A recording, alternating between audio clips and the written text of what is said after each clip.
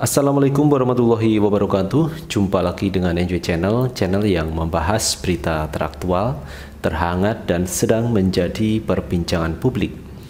Teman-teman kali ini yang akan kita bahas mengenai bencana alam. Kemarin Presiden Jokowi ini mengunjungi Kalimantan Selatan teman-teman Karena di sana ada banjir Dan ada beberapa infrastruktur yang rusak dan juga ada pengungsi di sana. Karena itu Presiden Jokowi mengunjungi Kalimantan Selatan.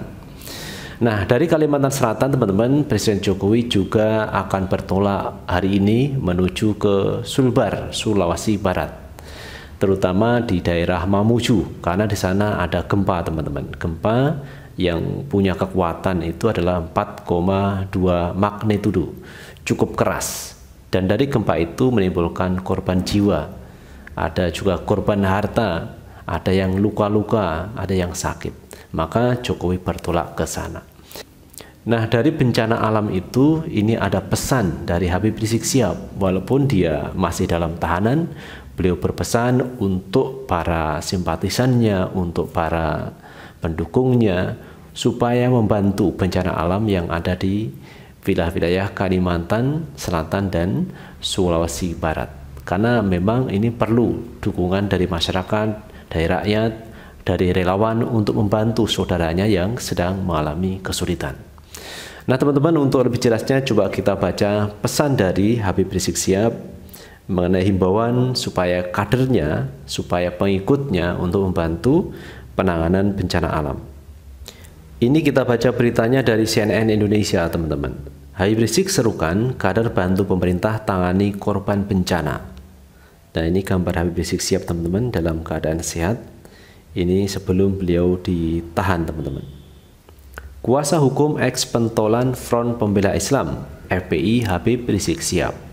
Aziz Januar mengatakan kliennya menitipkan pesan kepada setiap elemen masyarakat Indonesia untuk bersama-sama membantu pemerintah mengatasi rentetan bencana alam yang terjadi di Indonesia pada awal tahun 2021 ini.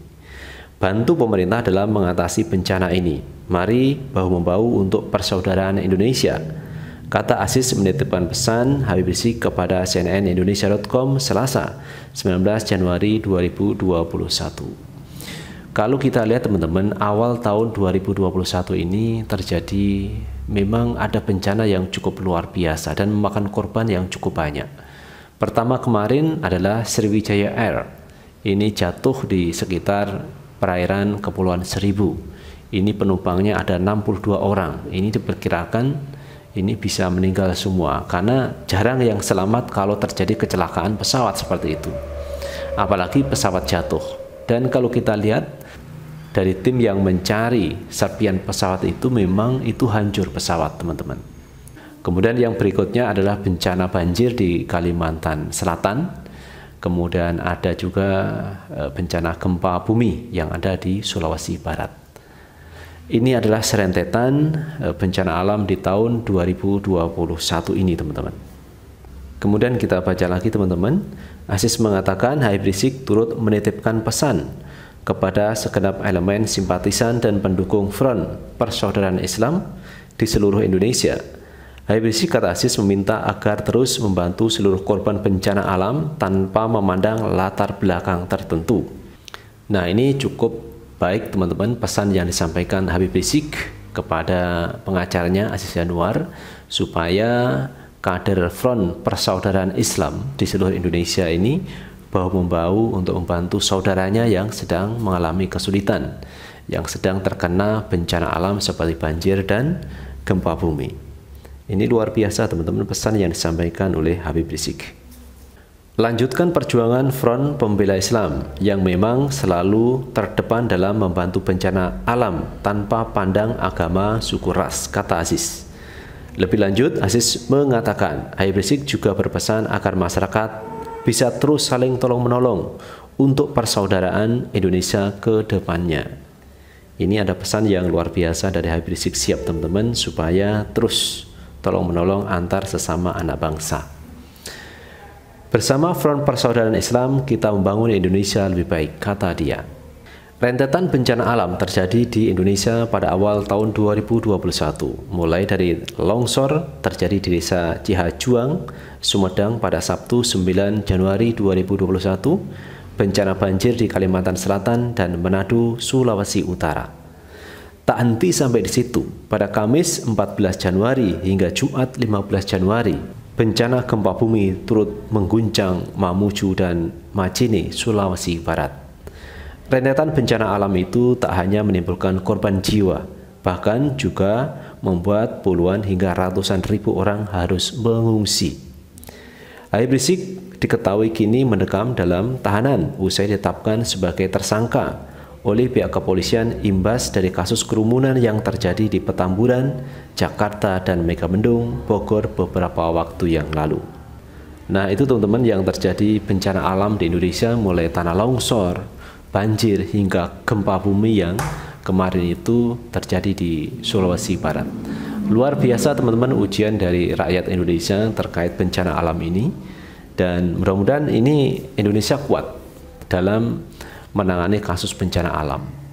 Dan ini ada pesan yang cukup menarik, pesan yang simpatik dari Habib Rizik supaya eh, kader simpatisan pendukung dari Front Persaudaraan Islam untuk membantu masyarakat yang lain, saudara yang lain yang saat ini terkena musibah.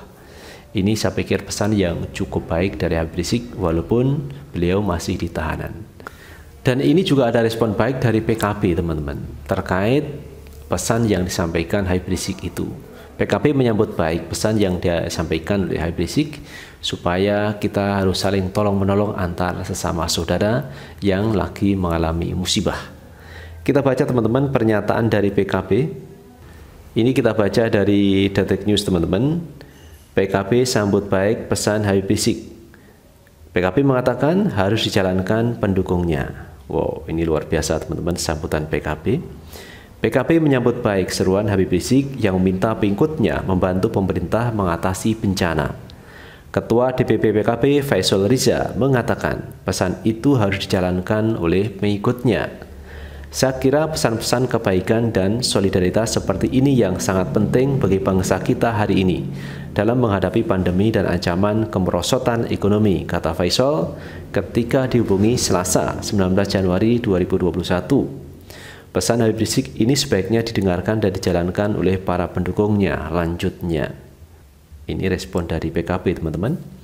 Faisal berharap pesan ini sebagai awal perubahan sikap Habib Rizik agar lebih toleran. Dia juga berharap Habib Rizik dapat menerima perbedaan demi mewujudkan persatuan. Tentu saja kita berharap Habib Rizik lebih mementingkan bangsa ini Pesan ini mudah-mudahan menjadi awal bagi sikap beliau yang lebih toleran dan bisa menerima perbedaan-perbedaan demi persatuan bangsa ujarnya. Diketahui surat Habib Rizik yang mengajak pengikutnya membantu pemerintah itu karena turut prihatin dengan bencana yang terjadi akhir-akhir ini. Hal itu disampaikan oleh pengacara Aziz Januar. Nah itu teman-teman yang disampaikan oleh PKB, Partai Kebangkitan Bangsa yang mana beliau menyambut baik pesan yang disampaikan Habib Rizik untuk membantu pemerintah dalam rangka untuk menangani bencana alam di Indonesia. Dan ini harus disambut baik oleh para pendukungnya supaya pendukungnya mengikuti pesan yang disampaikan oleh Habib Rizik. Itu yang kita tangkap yang disampaikan oleh Partai Kebangkitan Bangsa atas pesan yang disampaikan oleh Habib Rizik Siap. Nah itu teman-teman yang bisa kita bahas hari ini dan bagaimana menurut pendapat teman-teman silahkan tulis di kolom komentar karena komentar teman-teman akan sangat bermanfaat untuk yang lain. Dan terakhir jangan lupa tetap like, subscribe, share, dan komen di channel ini agar kita bisa membangun channel ini menjadi lebih baik lagi. Sukses selalu. Assalamualaikum warahmatullahi wabarakatuh.